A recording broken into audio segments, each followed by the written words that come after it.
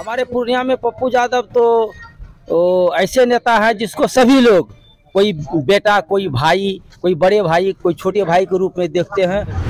बहुत अच्छा से जानता है पप्पू यादव तो जनता माना क्या हमको पप्पू चाहिए। अपो तो पप्पू अपो तो पूर्णिया तो बेटा चाहिए हमको। नेता है तो क्या लोगों का हेल्प करता है? बहुत हेल्प करता है गरीबों के लिए जान देता है। लीडर नहीं है। वो एक तरह से पूर्णिया का बेटा है। और यहाँ वो तो पैदा ही लिए। न्यूज़ फोर नेशन मैं हूँ अंकित कुमार झा।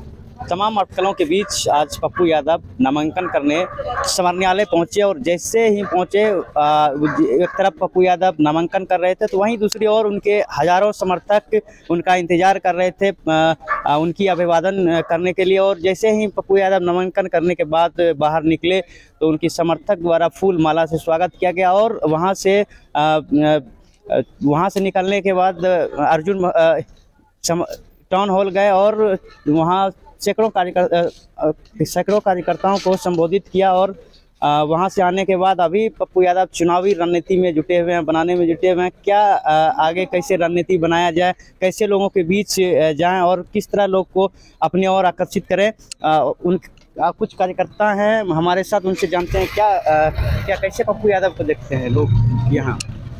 हमारे पूर्णिया में पप्पू यादव तो ओ, ऐसे नेता है जिसको सभी लोग कोई बेटा कोई भाई कोई बड़े भाई कोई छोटे भाई के रूप में देखते हैं और उसी रूप में जब जब ये खड़ा होते हैं उसी रूप में सारे लोग मिल करके बेटा समझ करके भाई समझ करके बड़े भाई समझ करके ही इनको वोट देते हैं और तन मन धन तीनों से लग करके प्रचार करते हैं और यही सारी चीज़ लेकर के इसको वोट भी करते हैं।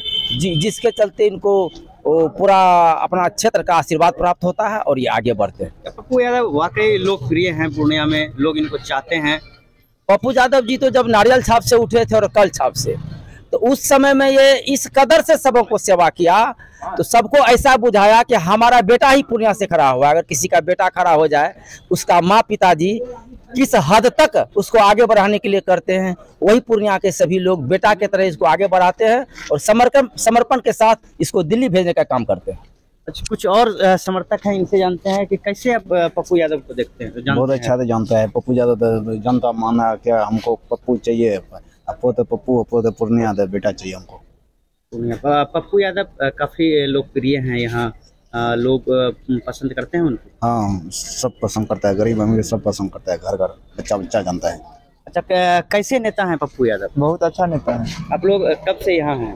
हम लोग एक तारीख से यहाँ हैं।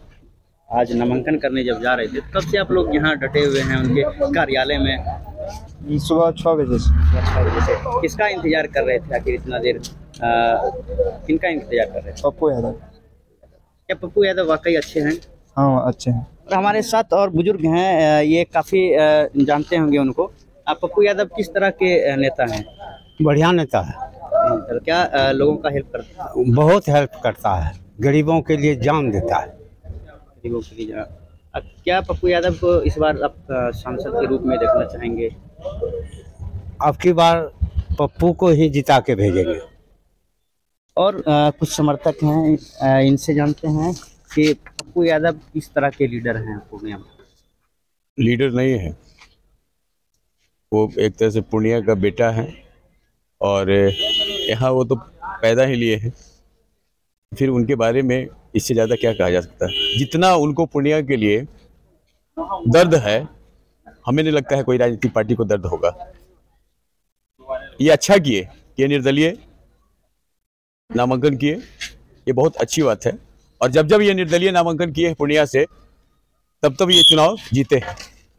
तो हमें तो लगता है कि दल जो है, इनके लिए अशुभ है और निर्दलीय इनके लिए शुभ है।